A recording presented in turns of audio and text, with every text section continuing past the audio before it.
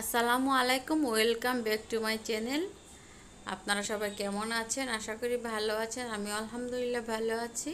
তো প্রথমে রমজানের শুভেচ্ছা, আপনাদের সবার কাছে দোয়া চাই এবং আমি নিজেও সবার জন্য দোয়া করি, যাতে এই পবিত্র মাহে রমজান মাসে আমরা পরিপূর্ণভাবে সিয়াম পালন করতে পারি। আর রমজান উপলক্ষে আজকে আপনাদের জন্য দুইটা ড্রিঙ্ক নিয়ে এলাম, বা শরবত। আর একটা হলো আনারসের শরবত আর একটা হলো আলু বুখারা, তেঁতুলের শরবত।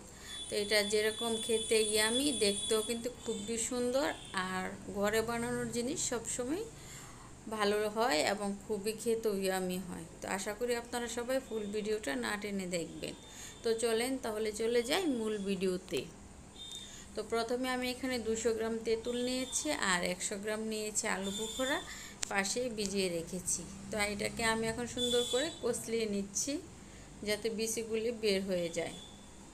আর এই তো আলু বুখারাটা আপনাদেরকে একটু দেখিয়ে দিলাম।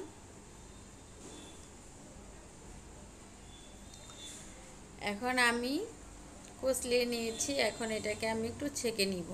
তো আমি এরকম পাতিলা ঢাকার যে একটা চাকনি প্লাস্টিকের, এটার মধ্যে দিয়ে তো ছেঁকে নিয়েছি। তেঁতুলের যে মাঠটা, এটা বের হয়ে গেছে। তো আবার একটু পানি দিয়ে এখন বাকিটাকেও ছেঁকে নিব।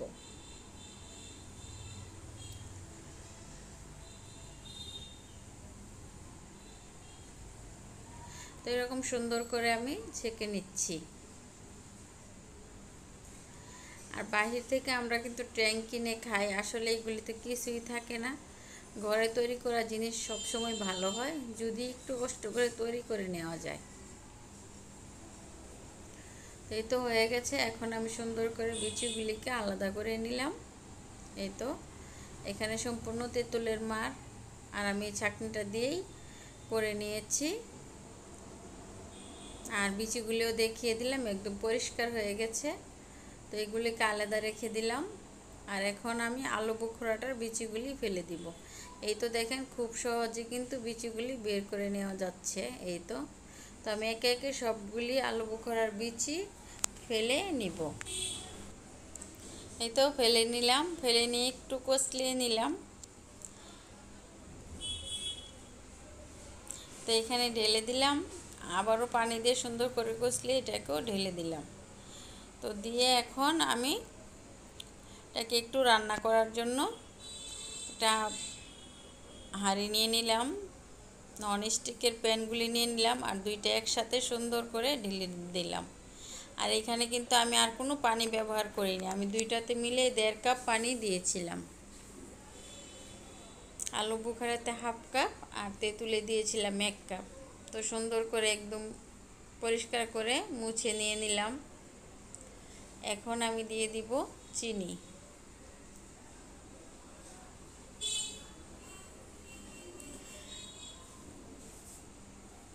চিনি আমি দুই কাপ দিলাম।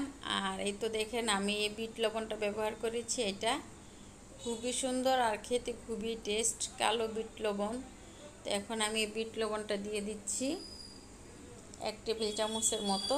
আর দিয়ে দিলাম এক কাপ চিনি আর স্বাদ মতো দিয়ে দিলাম লবণ।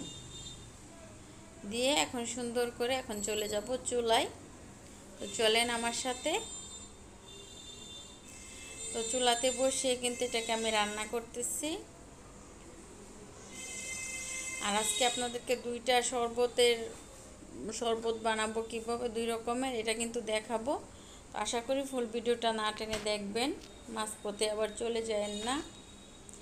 আর জাল দেওয়ার পর দেখেন কত সুন্দর ইয়ামি হয়েছে। এখন এটাকে আমি নামিয়ে ঠান্ডা করে নিব।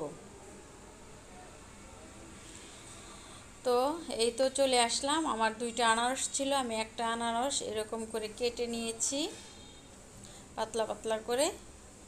এখন এটার মধ্যে আমি দিয়ে দিব হাফ কাপ পানি।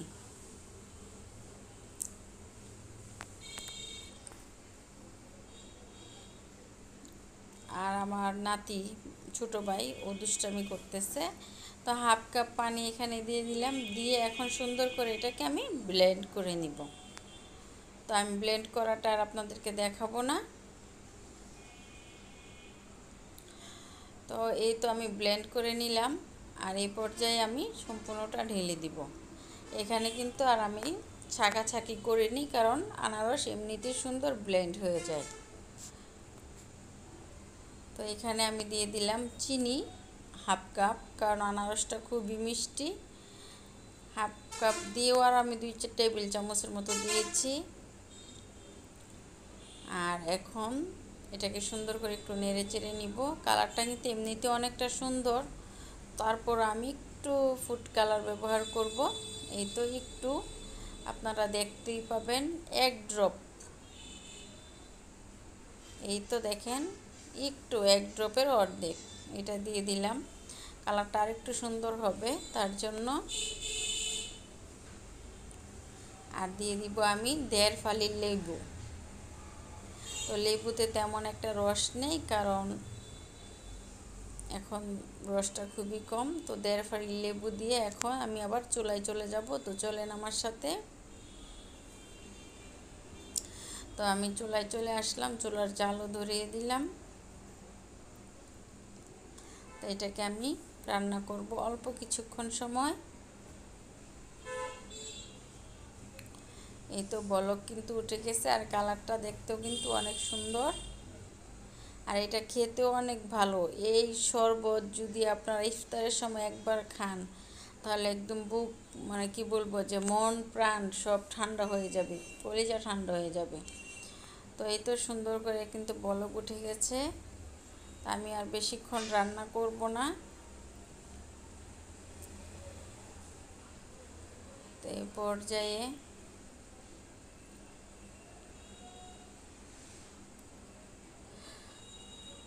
সুন্দর করে। এখন আমি তো এক টেবিল চামচের চার ভাগের এক ভাগ ভাগ দিয়ে দিলাম সাইট্রিক অ্যাসিড। সাইট্রিক অ্যাসিডটা দিলে একটু টক টক লাগে, আর লেবুতে তেমন রস ছিল না, তার জন্য একটু টক হয়নি। তো দিয়ে দেওয়ার পর এখন আমি দিয়ে দিব পাইনাপেল ফ্লেভার। আর পাইনাপেল ফ্লেভারটা দিলে খেতে আরও ভালো লাগে বা অনেক সুন্দর একটা এরোমা বের হয়। তো বাস হয়ে গেলে এখন আমি চুলার জালটা নিভিয়ে ঠান্ডা করে ওটা রেসিপি আমি বয়মে ঢুকিয়ে নিব। এই তো আমি যে দুইটা বানিয়েছিলাম তেঁতুল আর আনারস দিয়ে, দুটাকে কিন্তু আমি বয়মে ঢুকিয়ে নিলাম। এখন ঠান্ডা হয়ে গেছে। আর দেখেন কত সুন্দর কালার। তো এখন আমি কিন্তু শরবতটা বানিয়ে আপনাদেরকে দেখাবো।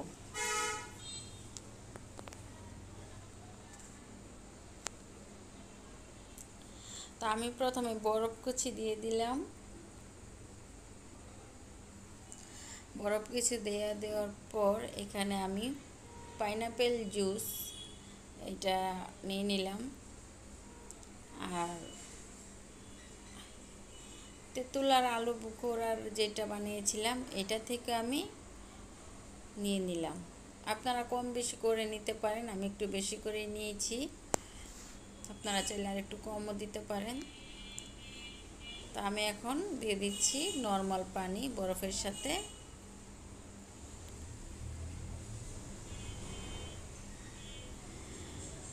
তো দেখতেও মাসাল্লাহ কত সুন্দর হয়েছে দেখেন, খেতেও মাসাল্লাহ অনেকই আমি একটু আমি চামচ দিয়ে নেড়ে চেড়ে দিচ্ছি।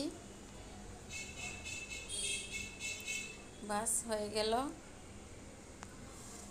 আর আনারসের যেটা, এটাকে আমি সুন্দর করে একটু নাড়াচাড়া করে দিচ্ছি। আর চিনি দেওয়ার প্রয়োজন নয় আর আপনারা যদি চিনি খেতে চান তাহলে আবার দিয়ে নিতে পারেন। তো আজকের এই রেসিপিগুলি কেমন হলো বা আজকের ব্লগটা কেমন হলো আপনারা অবশ্যই কমেন্ট করে জানাবেন। আর ভালো লাগলে লাইক শেয়ার করবেন। আশা করি। তো সে পর্যন্ত সবাই ভালো থাকেন। আল্লাহ হাফেজ। রমাদান মুবারক। সবাই ভালো থাকেন বাই